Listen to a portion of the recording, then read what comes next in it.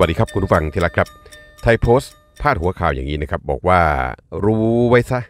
เสียงข้างน้อยสำคัญ ไม่แพ้เสียงข้างมาก ยกโลกตะวันตกขึ้นมาเทียบ เนื้อหาใจความเนี่ยนะครับพลโทนันทเดชเมฆสวัสดิ์ซึ่งเคยเป็นหัวหน้าศูนย์ปฏิบัติการพิเศษ ศูนย์รักษาความปลอดภัย หรือว่าสรพหรือว่า 17 รามอินทรานะครับพลโทนันทเดชได้โพสต์ข้อความผ่าน Facebook ครับ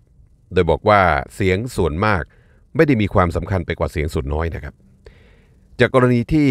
สสของสหรัฐอเมริกาและก็ออสเตรเลียบางคนเนี่ยได้ออกมาแทรกแซงเรื่องการจัดตั้งรัฐบาลของประเทศไทย ว่าควรจะสนับสนุนเสียงส่วนมากให้เป็นรัฐบาลเนี่ยนะครับ คืออย่างนี้ครับ เรื่องนี้ผมอยากจะทบทวนความทรงจำให้กับสสต่างชาติ ทั้งสองคนนี้สักหน่อย เพราะพวกเขาเนี่ยน่าจะรู้เรื่องราวนี้ดีพอสมควรนะครับ ประการที่หนึ่งครับ ประเทศในโลกนี้ทุกประเทศนั่นแหละครับ เขาจะมีวิธีบริหารประเทศให้เหมาะสมกับสภาพสังคมและก็วัฒนธรรมของเขา เพื่อความอยู่รอดทางเศรษฐกิจและก็ความมั่นคงนะครับ โดยเฉพาะประเทศที่ปกครองในระบอบประชาธิปไตยเนี่ยเขาจะยิ่งต้องเพิ่มความระมัดระวังมากขึ้น เพราะถ้าเกิดพลาดไปแล้ว มันจะแก้ไขได้ลำบากนะครับ ประการที่ 2 ครับ มาลองดูเรื่องเสียงส่วนมากของประเทศในซีกโลกตะวันตกกันหน่อยดีไหมครับ ว่าแตกต่างหรือว่าเหมือนกับประเทศไทยยังไงกันบ้าง กรณีแรกครับดูสหรัฐตัวดีก่อนเลยตำแหน่งประธานาธิบดีผู้สมัครรับเลือกตั้งเนี่ยแม้ว่าจะได้รับเลือกเข้ามาด้วยเสียงข้างมากจากประชาชนหรือที่เราเรียกกันว่าเป็น popular vote ก็จริง แต่ถ้าไม่ได้รับเสียงสนับสนุนจากตัวแทนมลรัฐต่างๆ ที่เราเรียกกันว่า electoral vote ถ้าไม่ได้รับเสียงสนับสนุนเหล่านี้แล้วเนี่ยจะขึ้นเป็นประธานาธิบดีไม่ได้นะครับ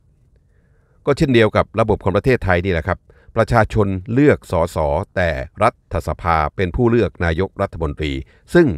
ดูเหมือนว่าจะคล้ายคลึงกับที่สหรัฐอเมริกานะครับ อันนี้เป็นกรณีแรก กรณีที่2เนี่ยนะครับ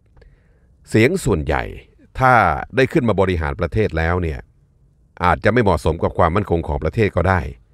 ถ้าเป็นอย่างนี้เสียงส่วนน้อยก็จะเข้ามาเป็นนายกรัฐมนตรีแทน อย่างเช่น นายกรัฐมนตรี จัสตินทรูโดของแคนาดา ขวัญใจคุณพิธา นายกฝรั่งเศส สเปน หรือว่าสวีเดนอย่างนี้เป็นต้นนะครับ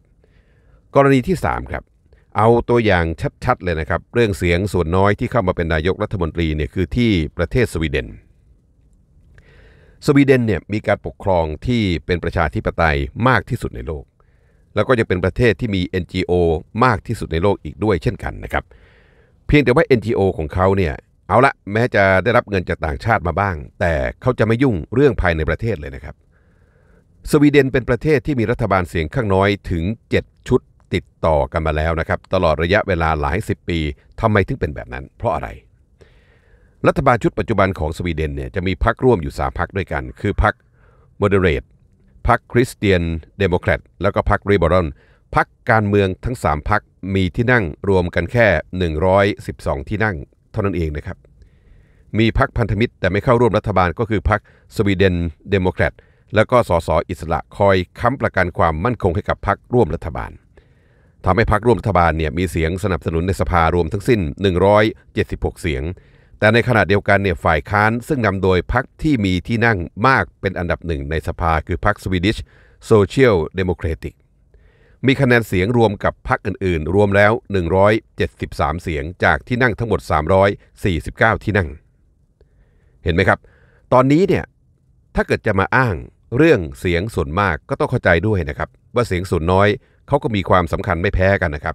ดังนั้นเสียงส่วนมากจะต้องทำตัวให้เสียงส่วนน้อยยอมรับด้วยนะครับ อย่าลืมนะครับ